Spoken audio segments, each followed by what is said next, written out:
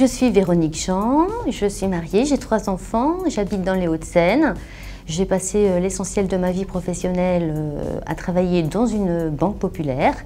Elle s'appelait auparavant la BICS, maintenant c'est la Banque populaire Rive de Paris. Euh, j'ai fait plusieurs postes dans cette, dans cette banque et surtout j'ai développé une, une passion pour tout ce qui concerne la bourse, l'exploration boursière.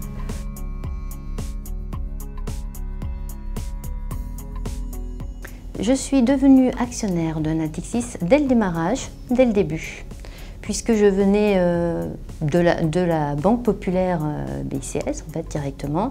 Euh, j'ai automatiquement pensé qu'il fallait que j'investisse dans cette action.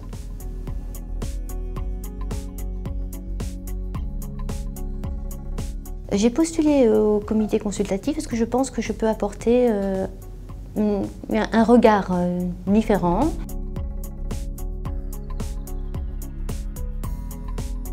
J'ai suivi euh, des formations en ressources humaines et je pense que cela peut être utile aux travaux de groupe.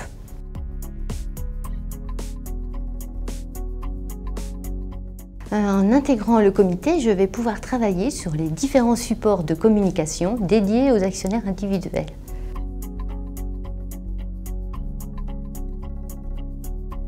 Je trouve qu'ils sont très bien organisés et très productifs.